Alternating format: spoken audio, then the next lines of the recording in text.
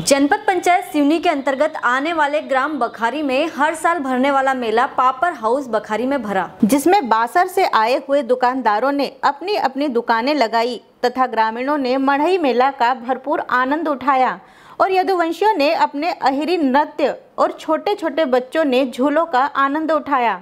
सिवनी से महफूज अंसारी की रिपोर्ट।